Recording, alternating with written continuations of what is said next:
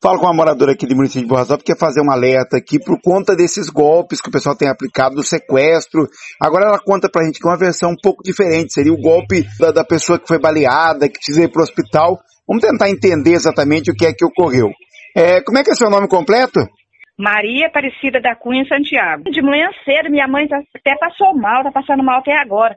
Ligar no celular dela, falando que disse que meu irmão tinha levado um tiro na perna, que para entregar meu irmão na porta do hospital com vida era para minha mãe mandar 100 mil real para eles, que e não era para acionar a polícia, que se acionasse a polícia meu irmão ia morrer.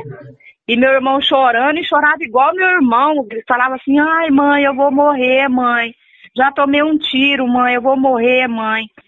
Aí me acode, mãe. Eu falei: "Mãe, me dá esse celular aqui." Aí, porque eu já vi vocês avisando, né? Acredita que ele falou para mim assim: você não fala para a polícia, não aciona a polícia não, e segue as instruções certinho. Certas instruções. Eu falei, como é que você chama? Ele falou, é Miguel. Aí eu já peguei que o negócio não era, né, verdade. Aí desliguei, liguei pro meu irmão, meu irmão tá certinho, tava até dormindo ainda. Aí ele falou para mim assim que eu tinha que mandar o dinheiro, que eles iam explicar para mim que jeito que nós ia mandar esse dinheiro, senão eles iam matar meu irmão. Teu irmão mora onde? Meu irmão mora ali para baixo da, da prefeitura. E a, não e, a, e a tua mãe é uma pessoa de idade já, né? Minha mãe é, minha mãe tem 72 anos já, e a pessoa falava assim, me acorde, mãe, eu vou morrer agora, mãe. Tá passando até mal até agora ainda. E tem uma família que também já foi vítima disso daí essa semana passada. E aí você, como você tinha ouvido, acompanha sempre as reportagens, você já se É. tocou que poderia ser um Aham. golpe, né?